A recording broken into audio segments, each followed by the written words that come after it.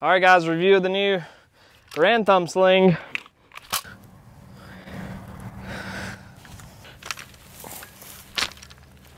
What the fuck? Flannel Daddy. What is this? I got my new limited edition Garand Thumb Sling dirty.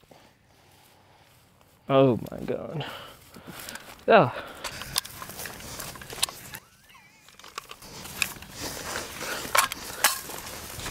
Made in Bangladesh.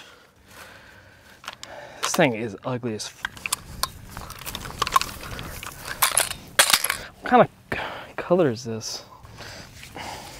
Looks like a clown suspenders or something. it's pretty sweet. Matches my boots pretty good, don't it? Nice little, uh... God damn it, dude. Get out of the way.